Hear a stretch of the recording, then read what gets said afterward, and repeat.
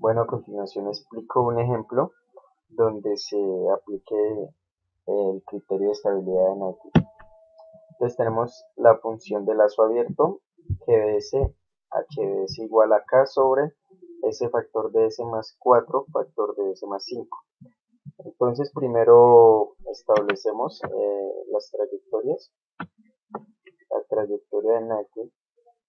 Entonces tenemos que hay aquí hay una singularidad, aquí en la ecuación vemos que hay una singularidad cuando s es igual a 0, estamos en el origen.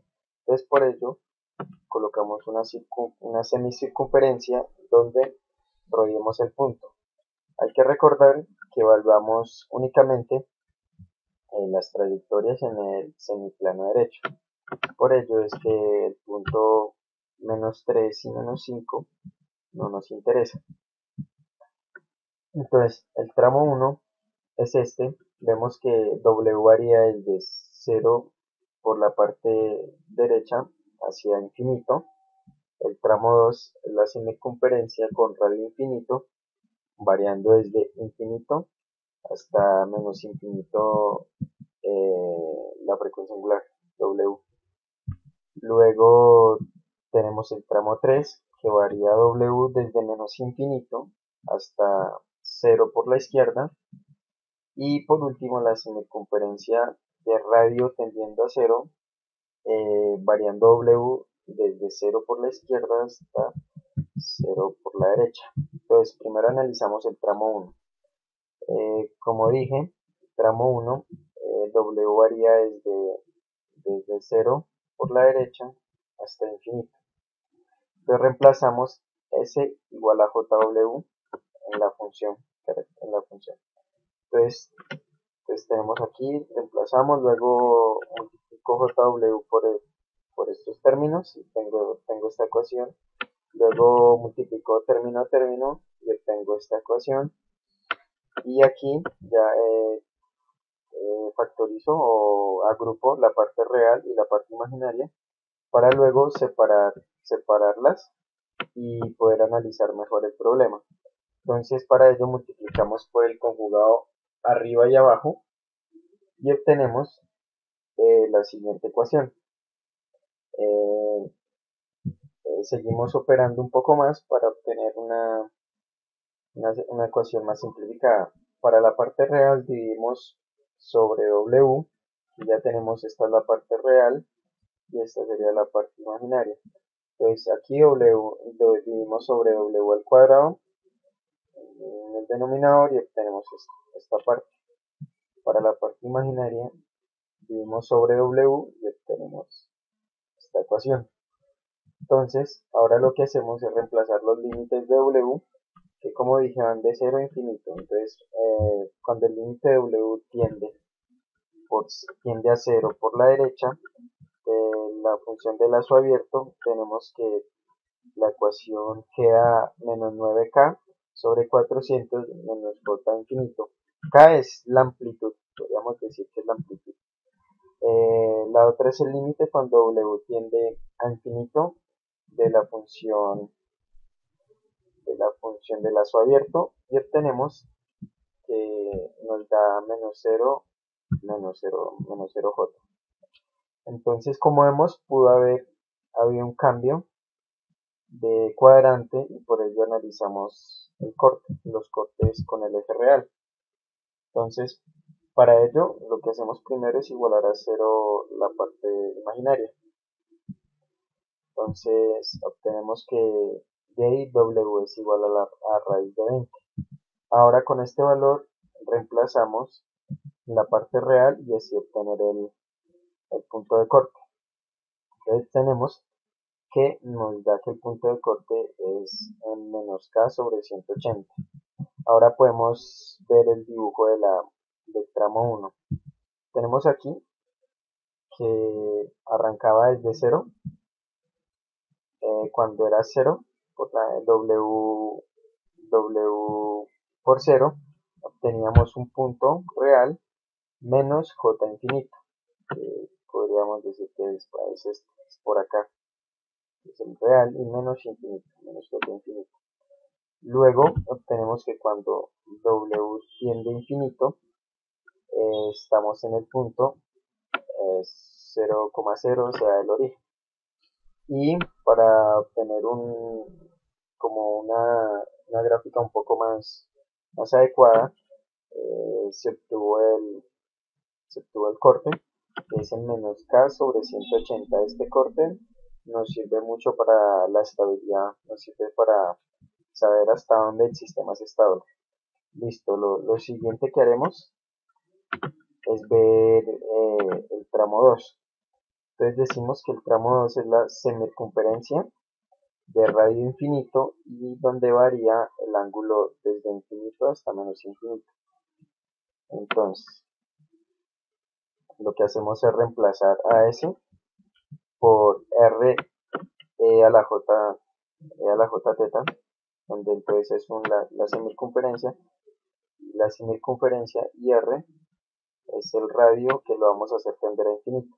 Entonces primero operamos, reemplazamos a S, tenemos esto, luego eh, hacemos el límite cuando R tiende a infinito, la función, y obtenemos que estos términos se desprecian y, obtenemos eh, R al cubo, K sobre R al cubo por E a la menos 3J, eh, J3 teta pero como r tiende a infinito, entonces la, esta parte de la función tiende a cero, entonces tenemos que la gráfica va a ser eh, un, va a ser con un radio muy pequeñito, un radio que tiende a cero, y nos va a ir variando, donde nos va a ir variando, en sentido contrario.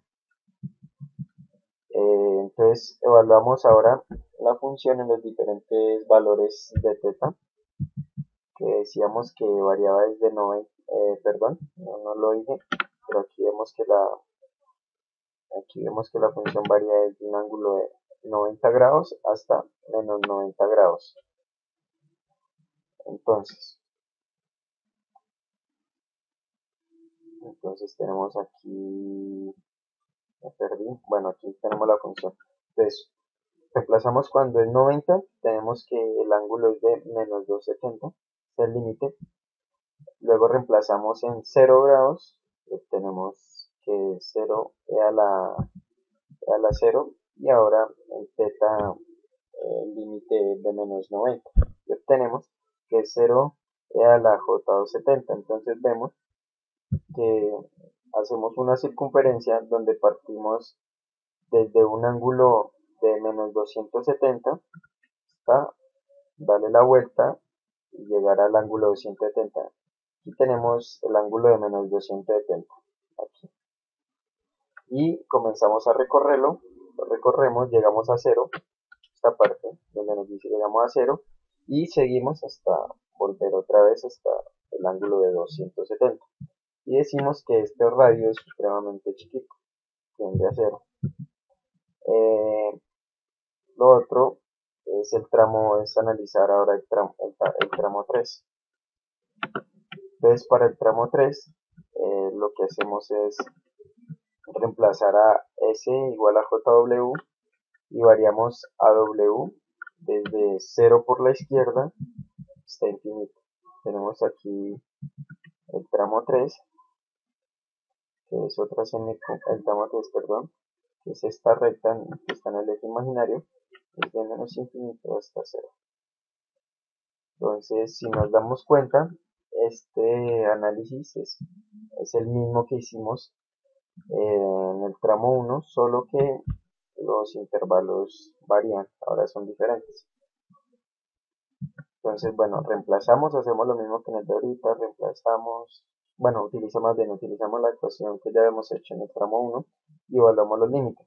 Entonces decimos que cuando es eh, eh, W tiende a infinito, nos da menos 0 menos j sub 0 este punto y cuando w tiende por la por la izquierda tenemos que es menos k 9 sobre 400 más j infinito aquí ya nos dio nos dio un signo contrario al que nos había acá y esto es porque el límite eh, tiende por la izquierda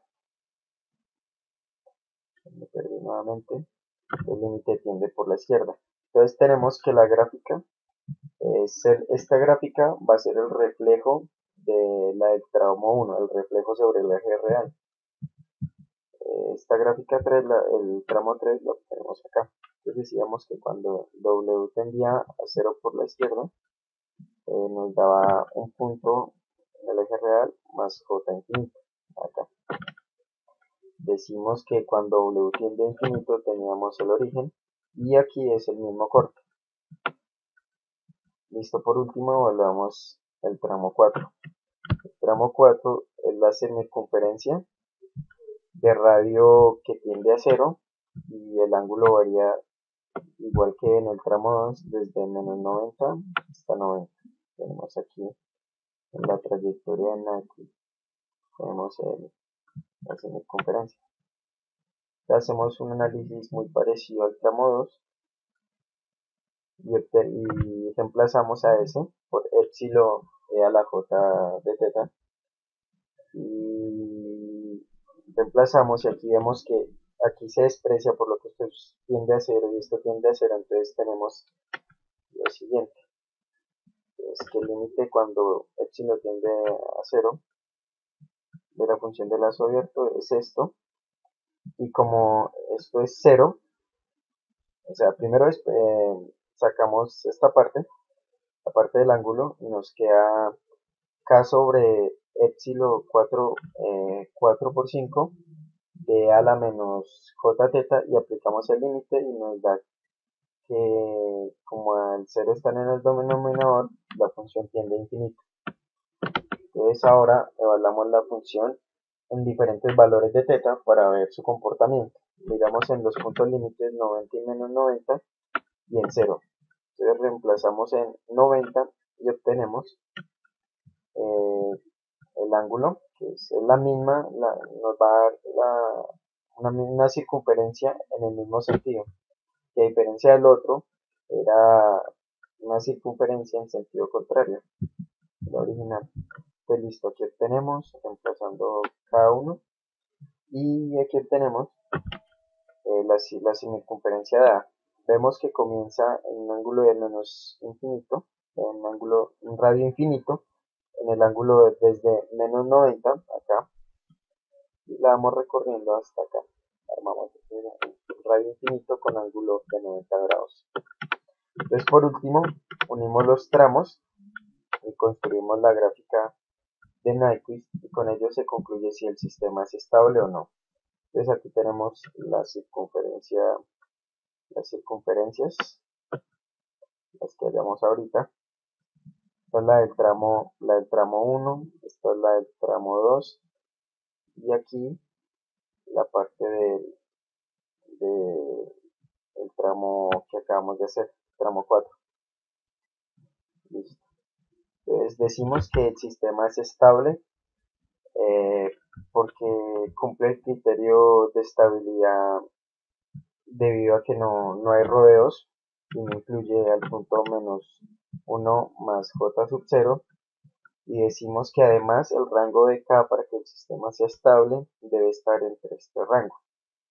También vimos que la función no incluye ceros ni no incluye polos en el semiplano derecho,